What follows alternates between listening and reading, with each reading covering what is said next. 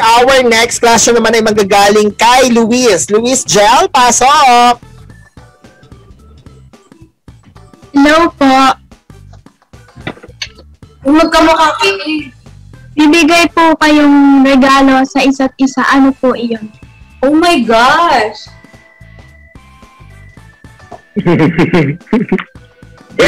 Gosh! Wait.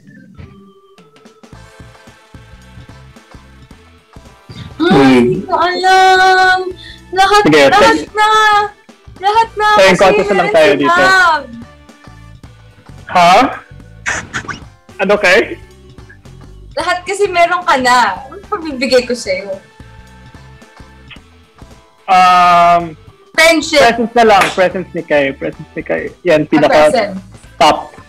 Number one. Makasama ko si Kai. Okay. Bakit? Bakit? Bakit presents? At, okay. Bakit? Bakit yun yung bibigay mo? Ah, ba't yung bibigay ko? Mm-mm. Kasi... So, maging happy ako. ah, Sa bagay, no, pagka ganun yung mga, yung presents mo, yung, yung, yung binibigay, iba, iba yung feeling. hindi kasi mayaman kasi si Maverick. So, Okay. buy whatever he wants. So ako, presents ko na lang, tol. Okay. okay. Ayan, so that's all for our question na kasama Wait, natin. mali ka na. Yes. Okay, sige, go, Kai. Ako lang. Sagot ka, ma'am. Okay, go, Kai. Bye-bye. Ah, Ano? to, to, uh, to like be defensive lang. anything, anything that Kai will give, ma-appreciate ko ng sobrang sobra. So, doesn't matter what it is, kahit no, the what little do you things, want to it doesn't give matter. But what I want, huh? What do you want to give to me? Uh, my everything. My everything.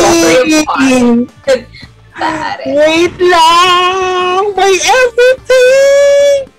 Napainom na talaga ng kape si Kai. okay, oh, ayan na mga kapuso, narinig niyo, my everything. Diba? Grabe, alam mo, malamig yung panahon pero pinagpapawisan ako eh. Why naman ganon?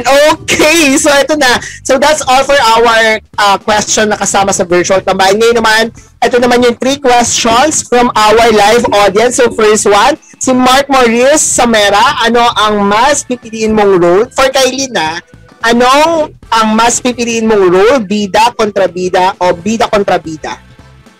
The last one. Bida kontra bida. I like challenge. So, yun yung mas pipiliin. Bida kontra bida. Ayan. Thank you so much, Mark Maurice. So, for our next question naman ay para sa inyong dalawa. Excited na ba kayo sa lock-in taping ng I Left My Heart in Sorsogon? Hindi! Okay. Hindi! Hindi, super, super excited. Yeah, super same. excited. Lalo Kailan na, start? um, kailan start? Well, mag-hotel quarantine kami this coming July 10, I guess. Correct me if I'm wrong.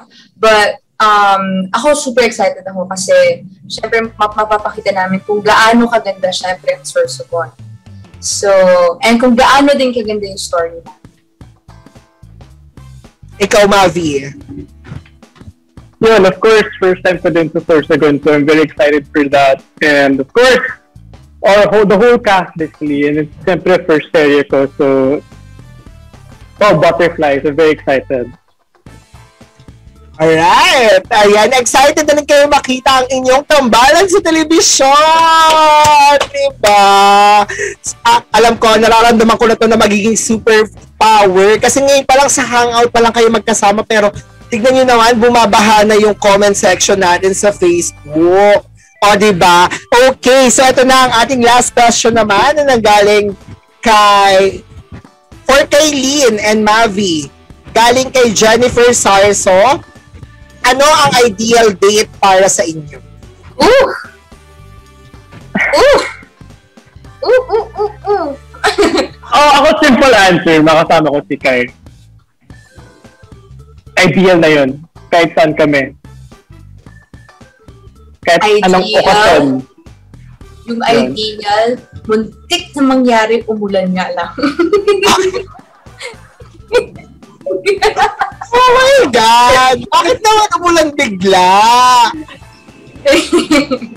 Minsan yung panahon din, hindi nakikisama talaga eh. Bakit parang merong tinatago? Bakit parang may hindi kami alam? Okay. Hindi. Kasi gusto ko parang sunrise or sunset. Muntik na talaga, Pat. Umulan pa. Ay, kasi umulan. So, ang ending rainbow na lang yung lumabas. Wala. Wala. OMG, at least, di ba? Pero iba pa rin I'm purpose namin. dropping all of these things na from personal lang namin sa inyo. Okay. My gosh.